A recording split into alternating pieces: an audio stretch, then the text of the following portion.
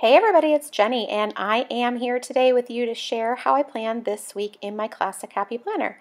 There's a look at last week with stamps and that Planner Society layout or kit, and this week I'm trying something that I have not really tried ever before. So it's going to look a little bit different than what you're seeing here, but I'm really looking forward to it, and hopefully you guys will like it too, and it will maybe give you guys some ideas for your own planner. So why don't we get started? I decided the other day that I really wanted to try a monochromatic layout. I hadn't really ever done that before. I've done it where I choose a couple of colors, but never where I've really just only worked with one.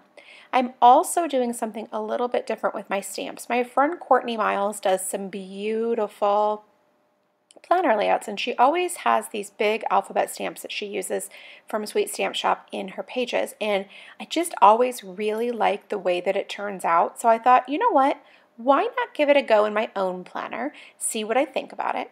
And I actually did sort of a practice layout as well, and I will have that on my Instagram if you want to see that one too.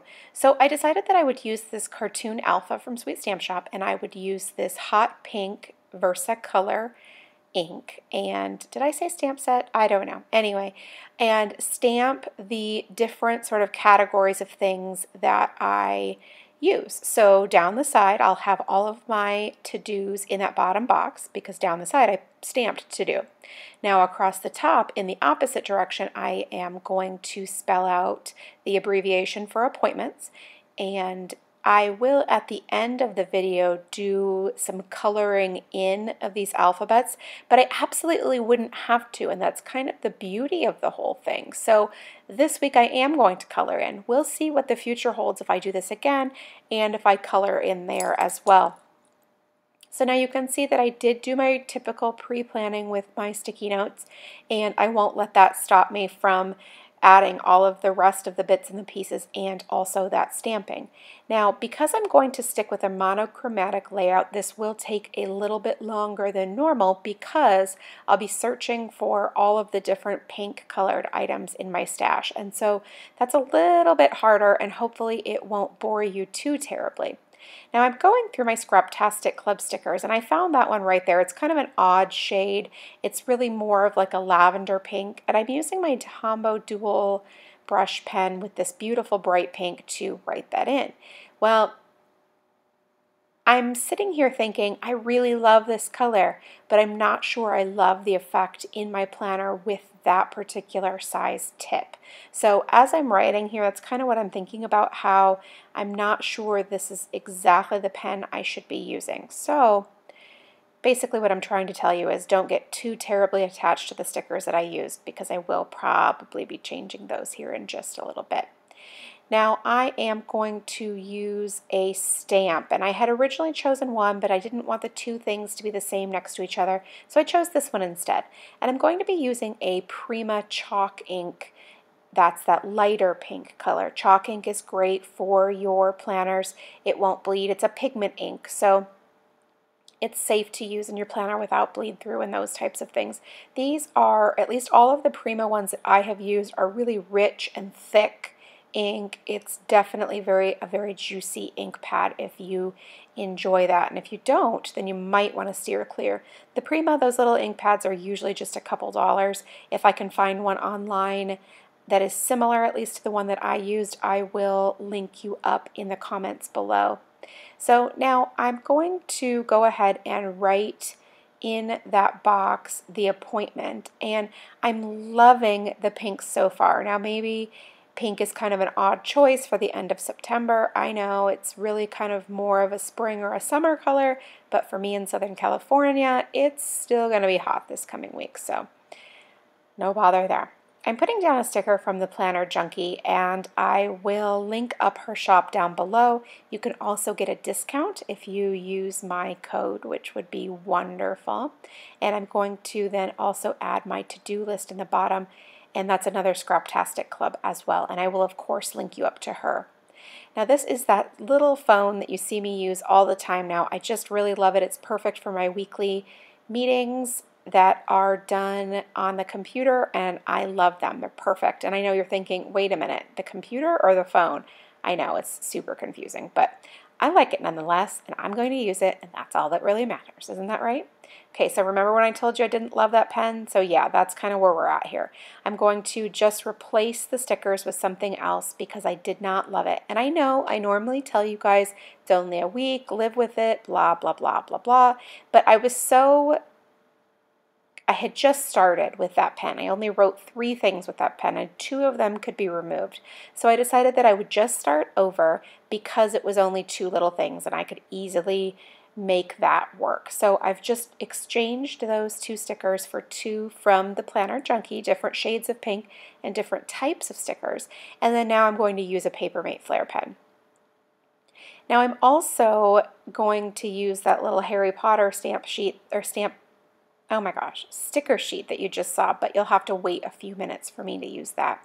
Now I'm just going to ink up this doctor icon and originally I'm going to put it at the top then I switch it because as you can see I already used that same smaller stethoscope up above and I didn't want to have them right next to each other so I decided to switch them. Now I'm just using that super cute little peekaboo box just to point to that icon. That's something that I haven't been doing a whole lot lately. I'm not sure why I've kind of forgotten about that or something. I don't know. But I decided here it would be the perfect use for it and it's super cute. Now, I love, love, love those boxes from Scraptastic Club that I'm using right there. They're some of my favorites. I love that they have a colored background. I love her paper, and these designs are just fabulous. So I'm super excited to be using that right there, and I'm also super excited to be bringing in a different variation of pink because I just really wanted this to be fun and fresh and a whole bunch of different colors of pink. Now, I could have obviously stuck with one shade and gone from there. But A, that would have been significantly harder to do, and B, just not quite as fun or interesting. Now that's a super, super, super old sticker that I have, so I couldn't even begin to tell you where I got that one, but it'll do the job right there on Wednesday. And remember those Harry Potter stickers? I know it totally has nothing to do with Monday and Tuesday. It doesn't go with the rest of the week. It won't go with the washi that I'm using, and I don't even care because I thought it was really fun. And I love having that little bit of whimsy and things that interest me on my planner pages. And so, why not use a little sticker of Hermione Granger? If you like Hermione or any other Harry Potter things, you can get that sticker sheet in the Planner Junkie Etsy shop. Now I'm going to move on to Thursday, and I'm kind of trying to keep in mind all of the things that I have going on that part of the week, so like your Thursday and your Friday, because I want to add a little decorative element. I want to use some hexagon stickers, and so I need to just sort of mindfully look through what I've got to choose from and see how I can make both of those things work, how I can make a little decorative part work, and then how I can also incorporate the hexagon stickers as well. I'm super excited to be going through these particular decorative stickers. I haven't used them in ages, and so I'm really happy to be pulling those back out. And most of these stickers you can still get in the Scraptastic Club shop. Not all of them, but a large portion of them. Now you can see I have that little decorative element right there on Thursday and Friday morning. Isn't it so pretty? I love the combination of the pinks and it just looks really, really good. Now I'm going to take some of these hexagons that I have and combine them together for a little cluster just so I can notate my volunteering for Friday morning. It's really, really, really cute and I just wanted to have something a little bit more playful and fun. I always feel like this uh, half of the week ends up being a little bit more sparse looking than the front half of the week or the first part of the week. And so I thought, you know what, why not? Let's add some decorative fun flair while staying completely functional.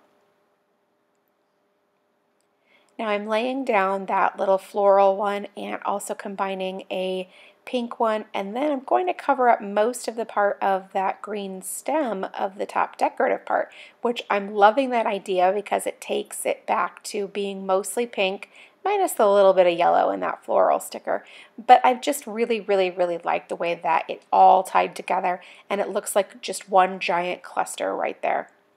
I want to add a little bit more and make it have a little bit more of a layered and clustery feel, since I just said cluster. And I'm going to look through all of these different like word fetty, word strip type stickers and see if I can find one that is relevant and would work with that different cluster. So I found a nice big one. It layers across all those two stickers and I love the end result. So it worked out really, really well. I love going through my stash and I love seeing what I still have available. It really just makes me so happy to not only use up some of the products that I have, but return to some old favorites that I know that I love too. So it's definitely a win-win as far as I'm concerned. Now I added that little uh, notebook sticker and then I'm going to now work on stamping out the word weekend with the same alphabet stamps that I used before. Now this time I'm using that lighter pink ink pad, the Prima Chalk ink, and I just did that for a little bit of to make it different than the other half of the week. Now obviously for continuity's sake I would have used the bright pink that I used at the beginning if I wanted it to all be the same, but I didn't. I wanted it to be a little bit different. So I decided that I would just go with the Prima Chalk ink and see what happens. Flash forward, I end up really liking it a lot. So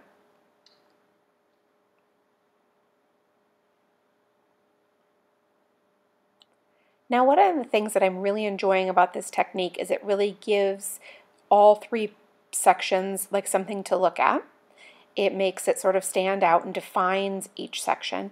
And then it also gives me that really nice visual triangle between all three words. You'll see that at the end when I pull it all together. And just makes it definitely design-wise very visually appealing.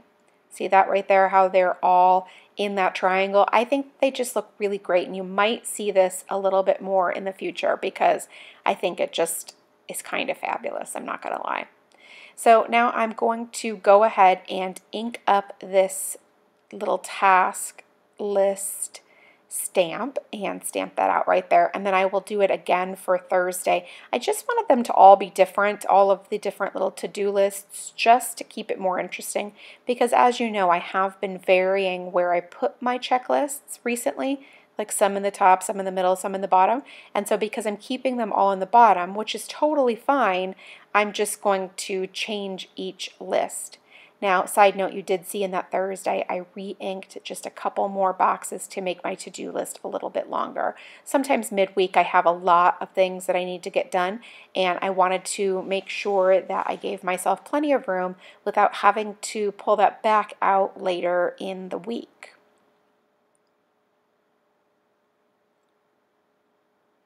Now I still have some things to notate over the weekend and so I'm just breaking out that stamp that matches that sticker I used on Wednesday and I love it. I just, I really love the shape. There's plenty of room. I have lots of things that I can fit into that box so it really works out great and I love how I paired it in the morning kind of with that big giant cluster of stickers from Thursday and Friday because it leaves that bottom right hand corner open for decoration or whatever I might need it for.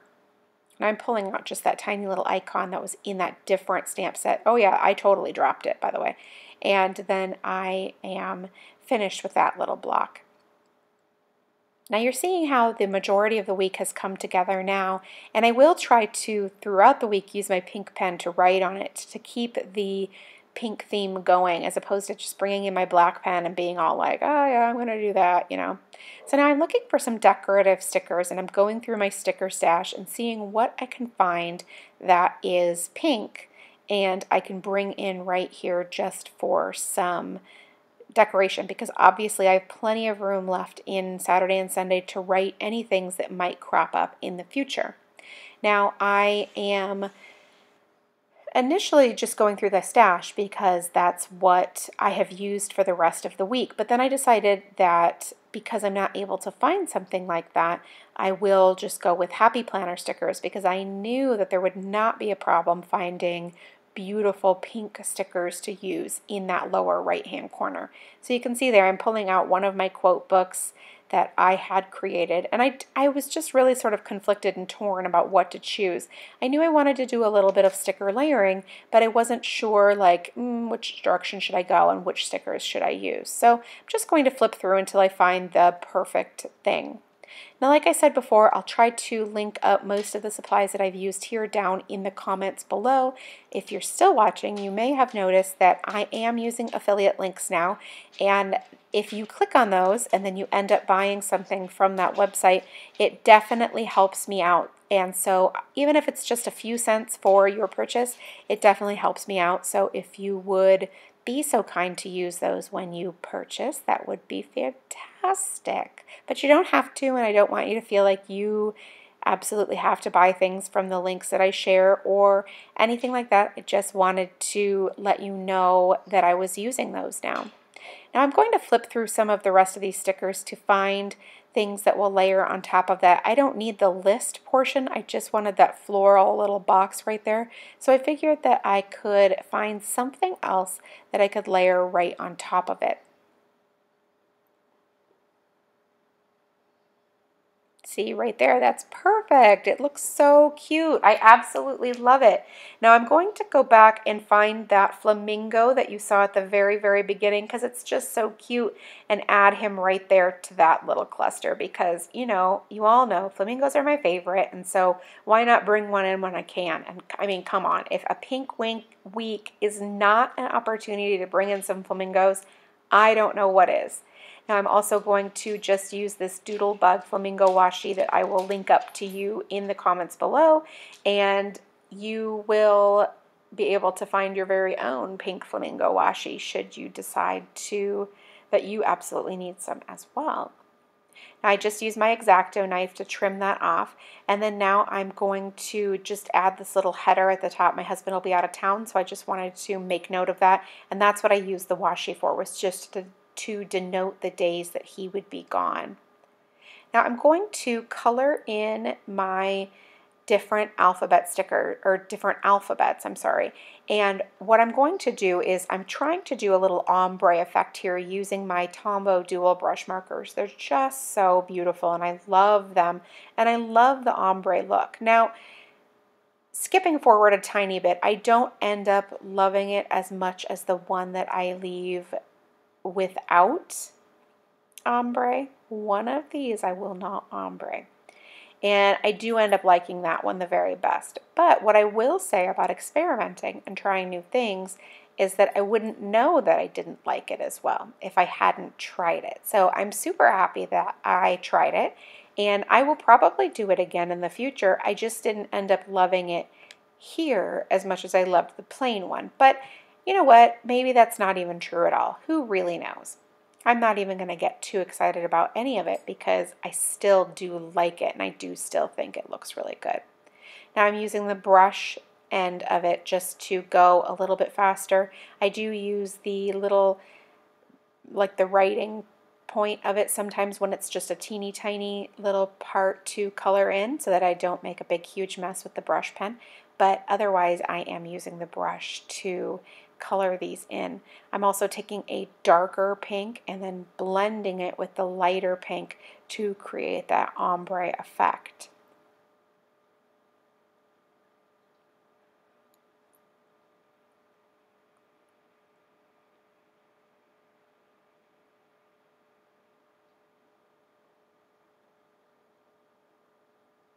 So you can see that I color the whole thing with the pink, the lighter pink first, I add the darker pink at the bottom and then I go back with the lighter pink and I blend them together to create that middle pink color without adding a middle pink color, if that makes sense.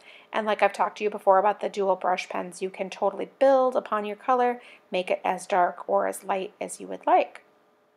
Now at the up at the top, I'm just going to use the lighter pink for the appointments and I end up very, very happy with it. And I love, love, love the way the colored in pink looks with the pink stamping ink. So that's pretty much it for me this week. Thank you so much for stopping by and watching this super long video. I really do appreciate it. If you have any questions or comments, leave it in the box below and I will do my very best to get back to you. Thank you so much and make it a great day.